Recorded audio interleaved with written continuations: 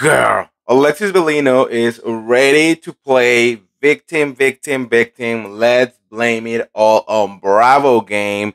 And we need to talk about it. But before we start, welcome back. I'm the real Andy of Beverly Hills. And welcome to another piece of tea of the day. If you are new here, welcome to the Beverly Troop, where I keep it real and I mention it all. So if you want to know what is happening inside of the Bravoverse with the pop culture street and more, well, you know what to do. Subscribe, subscribe, subscribe, and hit that notification bell so you don't miss anything of what is happening out there. And before we start, guys, we need to give a shout out to our partners of this video and are the people from Rose Forever. Rose Forever are amazing, beautiful, real roses that last up to a year. This bouquet right here is over six months old, and look how beautiful it looks. If you want to get your bouquet, go to my link on the description below, and just by clicking on it, you automatically will get 20% off your order. They have different colors, different shapes, different sizes, and they ship everywhere around the world. So go and get your roses from Rose Forever.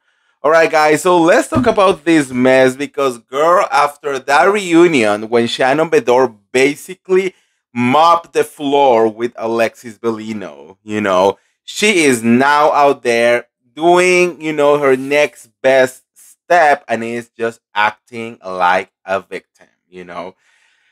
This girl literally came back into this show to be John Janssen's mouthpiece and to try to snatch uh, or uh, Shannon's Beador Orange. You know, it didn't work out, I and because it didn't work out, now she's over here trying to play every part that she can out there, trying to say that production made her wrong, that she was edited to be the villain, and I'm like, girl, okay so there is a, there is different things into this. First of all, we need to like go into the post in itself. She's a picture of herself, and girl, it is just so long that I was like, what is she thinking that people are really gonna read all of this? But you know what?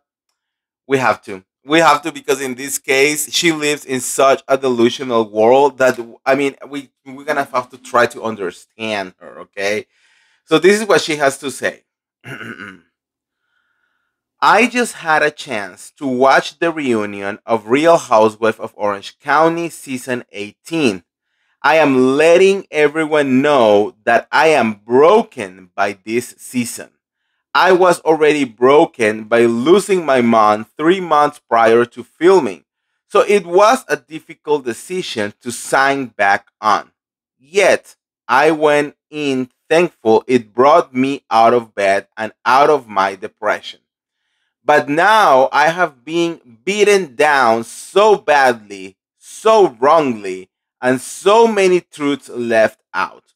So much left on the cutting floor, on the cutting room floor, that would have never brought so much hate to me and my family. There are receipts, many, and to me and my family, I'm sorry, and they will be brought out this week. Girl, here we go with the threats. Here we go with the threats. If you don't show them where you were part of the show, do you think that we're gonna care if you show if you bring them now? First of all, we don't even believe that those receipts are true, okay? Anyways. Um the lawsuit only finalized because the opposition knew we had the receipts to bring to court she had to pay up because she will have lost in court. Yeah, she only paid $60,000 out of the $75,000. But thank you for that $60,000. John gave you a discount. The lie that someone paid for everything is squashed by the fact of what our forensic accountant did. $50,000 spent by John year one, then $380,000 over, over three years, then two loans of $75,000, which she finally had to pay because the evidence wouldn't have squashed her in court. Truth prevails. It's unfortunate that I didn't get the opportunity for these receipts to be shown at the reunion, although they were brought by me and they were very available to be shown.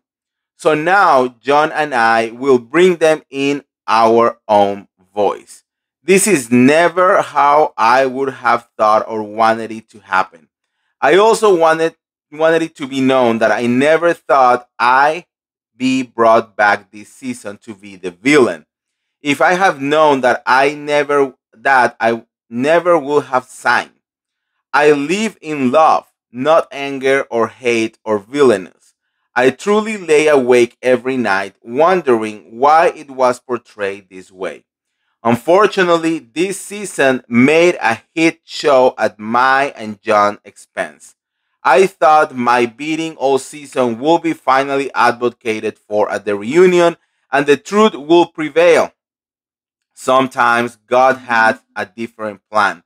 I will now use my own platform and my voice to share the truth and you with you because I do not live in toxicity, falsehood, hateful behavior, victimhood, or lies. I sang unto reality. And now I will bring the reality to light. I will never act to or become a victim. I will simply live with God and stand in truth. He always prevail. Hashtag stay tuned. I mean, the delusion of this girl. I just like I was saying before, first of all, we don't give a shit about the receipt anymore. Okay, we just do. We couldn't care about the receipt. Okay, you came into this show trying to destroy Shannon Beador, trying to like brag her ex boyfriend on her face, trying to laugh at her, trying to like put her down, and you fell miserably. So now you're trying to put all of this pain Uh, a spin on all of these things, no one care. Imagine how sad must it be to sit down with your boyfriend and had to go through everything that this man did for his ex girlfriend and maybe realizing that he has not done the same thing for you, baby boy. I mean, I can. I can. Anyways, the whole thing is just laughable to me She's like, I will not be a victim. I will not act like a victim. You are. You are. You know, take whatever is left of your dignity and leave. No one is paying attention. Okay, you can you can you can show 30,000 receipts of things that were bought.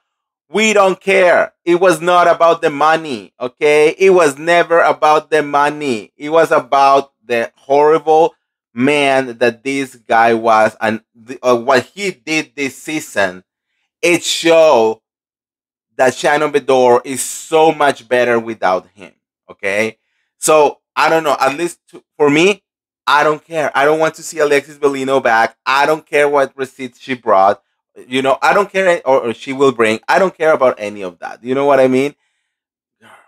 I'm so sorry. Sometimes the delusion is just too much. And she's blaming now production. She's literally saying that all of this couldn't be like put out there and blah blah blah. I don't think I think they didn't show anything because they know that it wouldn't have make a difference because it's not only about the money. And if she doesn't get that, I don't know, go and pray more, girl, because I don't know what is happening in your head. So, anyways, uh, let me know what you guys think on the comments below. And if you want to get all the tea related to the Real Housewives of Orange County or any of the other Bravo shows, make sure to like this video, share this video, subscribe to my YouTube channel, and I'll see you around. See ya. Bye.